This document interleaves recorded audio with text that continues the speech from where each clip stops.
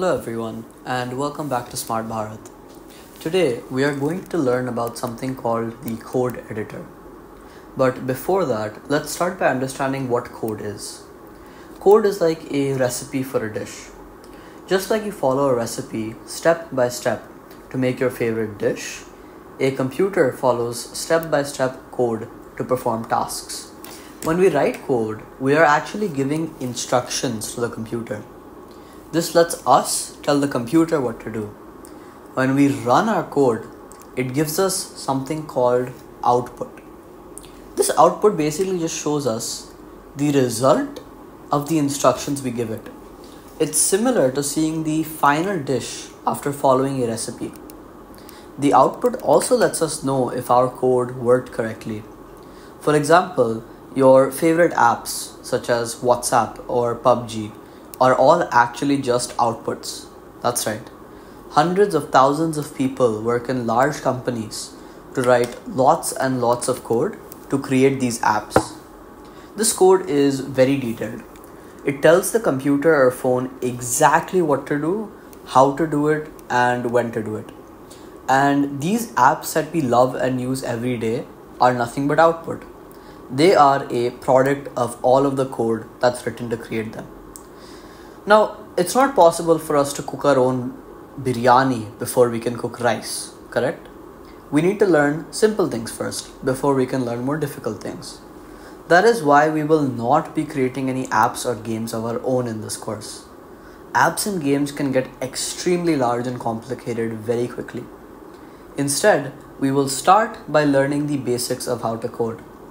But after you complete this course, you will be able to move on to more advanced things. These simple things that you learn in this course will help you all in your future experiments with technology.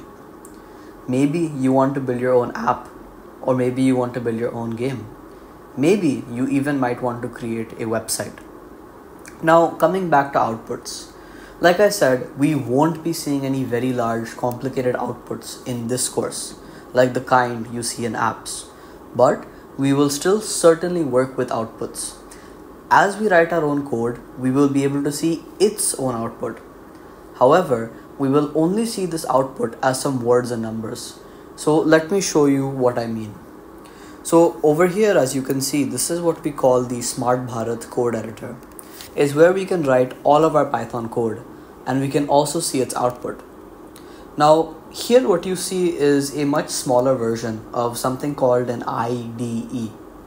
An IDE is a much better larger code editor than this. It has many different features to make it easier for developers to code. Also, a developer is just what we call someone that writes code, and soon all of you will be developers. Now, normally the IDE is actually an application on your computer, but you will all be using the Smart Bharat IDE right from your browsers. This makes things very easy and we can get started with coding right away. Before we move on, there is one thing that I need to say. In the real world, we write code for certain people. These people are called our users. We write code to create apps and other programs to help make our users' lives easier. And the final code that we write creates something called a program. For example, WhatsApp is a program that helps us talk to our friends and family instantly. Also, we are users of the WhatsApp program. Now, in this course, we will only be practicing how to code, as I have said before. So, we will be our own users. We will be the only people using these small programs that we create for practice. Now, coming back to our Smart Bharat code editor. On the left side is where we write all of our code, and this is the actual code editor. Now on the right side is where we see the output of our code. This is called the terminal. Okay, now how do we actually code? We'll start with a very simple example. One of the most basic things we can do in the Python coding language is show a message on a terminal. We do this using something called the print statement. It's like uh, giving the computer an instruction to display something. So let's see how we can do this.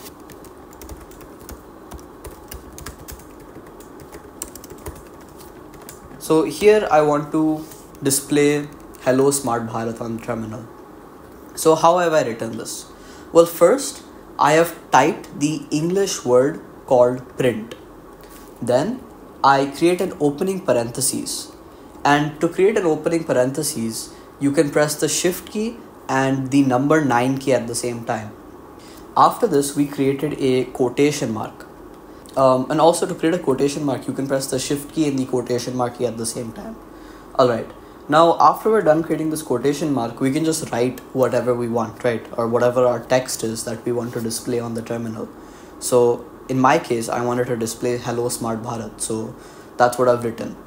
And when we're done writing we just create one more quotation mark again by pressing the shift key and the uh, quotation mark key again and now finally we have to create this closing parentheses. To create this closing parentheses, we have to press the shift key and the number 0 key this time. Alright, now this might seem like a lot, but it's actually really simple. If you want to show something on the terminal, you need to type print first, and then you need to type the text that you want to show on the terminal.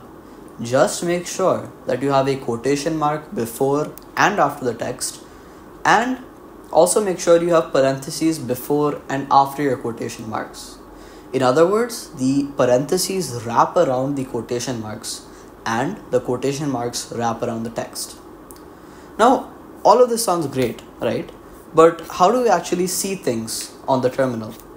Let me just zoom out a bit. Alright. Yeah, so how do we actually see anything on the terminal?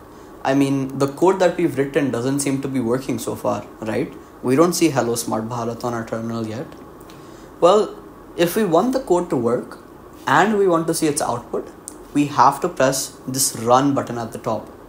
And when we do this, we call it running our code. So now let's run our code.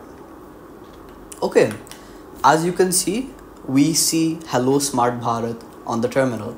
We have just created our very first small program and this program is actually just the computer following the instructions we gave it in the code. In this case, the only instruction was to print Hello Smart Bharat on the terminal. Now, whenever we want to display something on the terminal like we did here, we call it printing. It's very similar to how you will print on papers in real life or how you will get a Xerox of something. The only difference is we are not actually printing anything on a real piece of paper Instead, we are printing on our own terminal, which is, of course, on the computer. Okay, uh, moving on. So, we've talked about how to display things on the terminal through printing. But what if we want to get some information from a user instead? Imagine you're cooking your friend's favorite food, but you forgot a step in the recipe. So you decide to message your friend and ask them if they know how to fix the food. But do you think your friend would be able to give you an answer without knowing what your question is? No, right? However, as soon as you send them your question, they can respond and help you out. Similarly, we often will need certain information from the users of our programs. We can do this using something called the input statement. An input statement lets us ask the user for some information. We can then use that information in our code. For example, we can ask a user what their name is using the input statement. So let's see how we can do this. So I have deleted what we have already and now I'm going to write our input statement.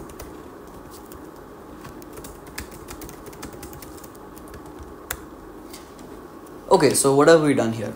Well, for starters, we first have written the word input in our code editor. Then we have created an opening parentheses over here. And after that, we create a quotation mark and then we type our question or our prompt. And this prompt is just used to sort of help the user understand what information we are asking for.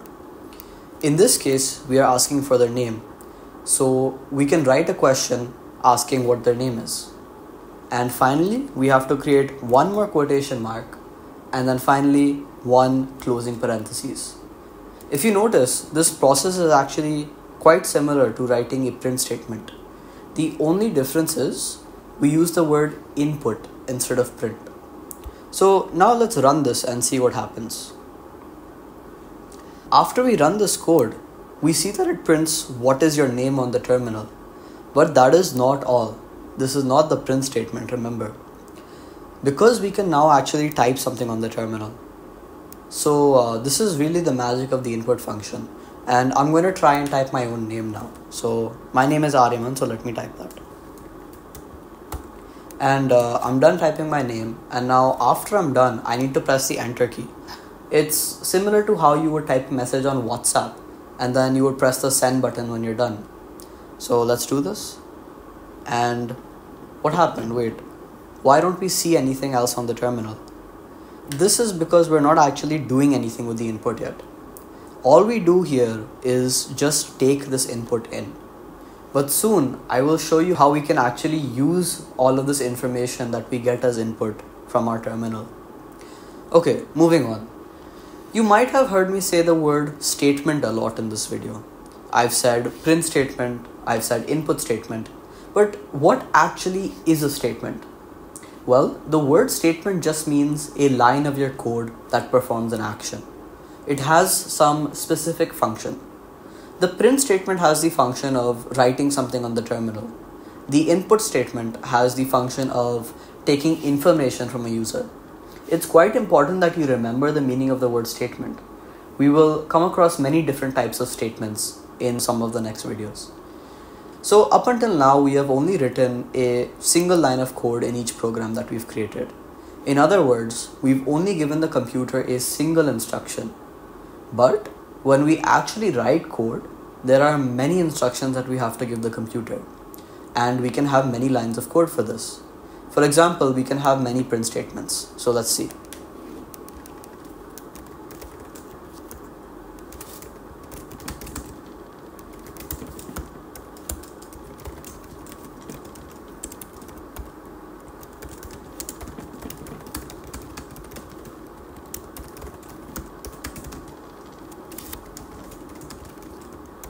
So here I have three print statements. The first print statement will print my name the second will print my favorite food, and the third will print my age. Now, there's something that you can notice in the Smart Bharat code editor. Every line that we've actually written in the code editor has a number next to it.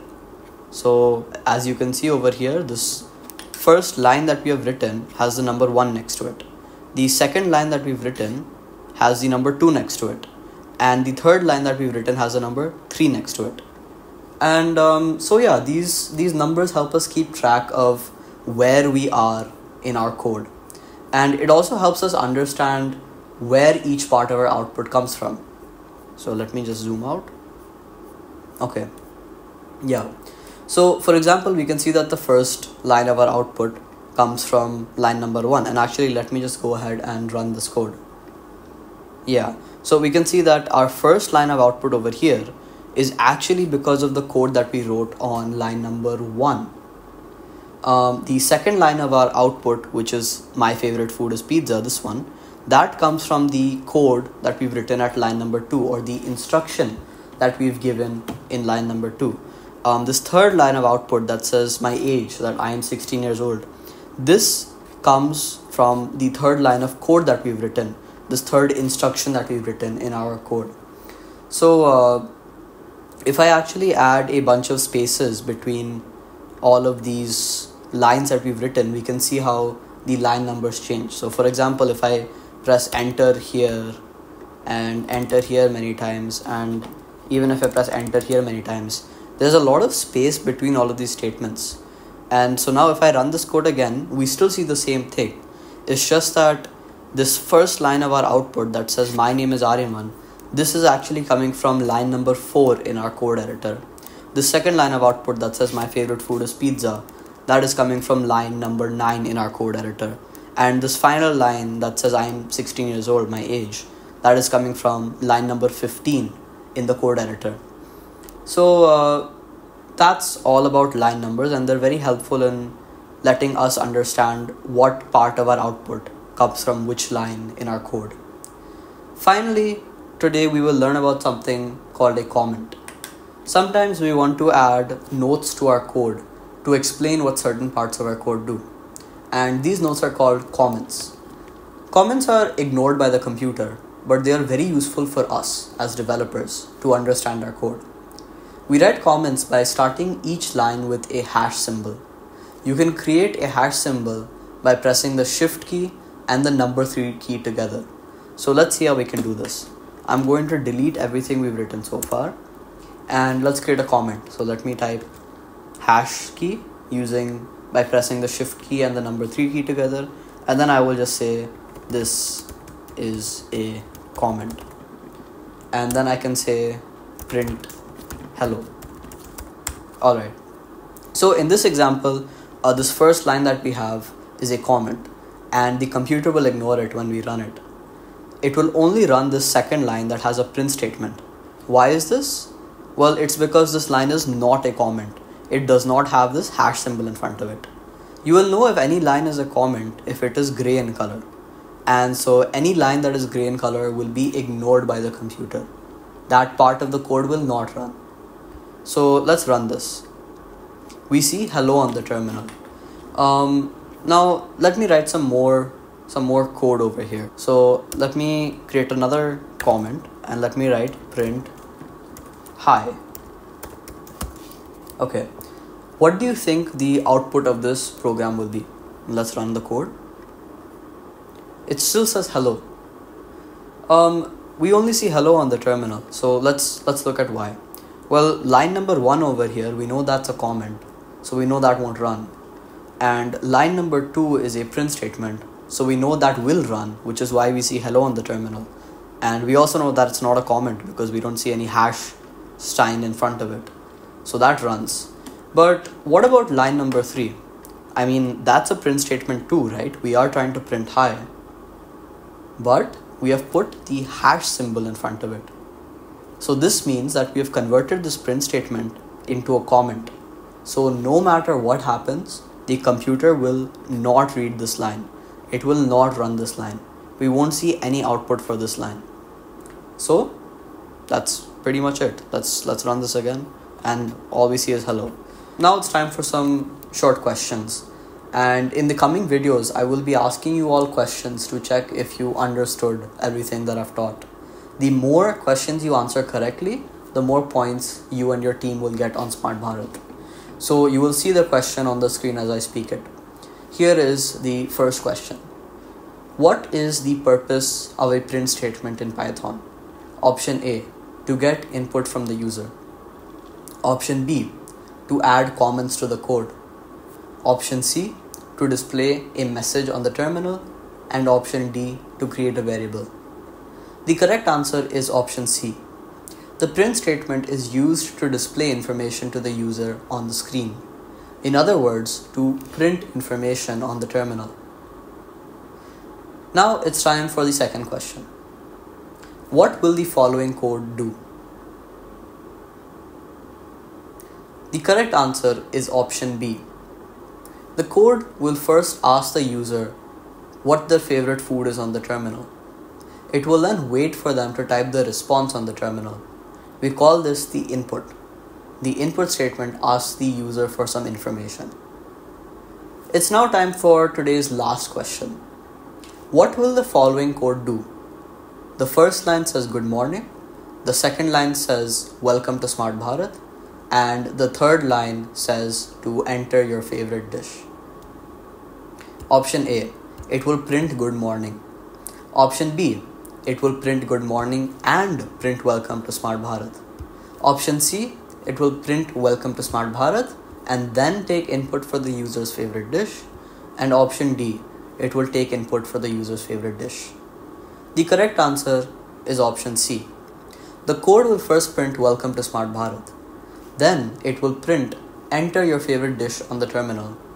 After this, it will wait for the input. The comment is ignored by the computer. The print statement displays a message on the terminal and the input statement asks the user for information. Thank you for watching and I'll see you in the next video.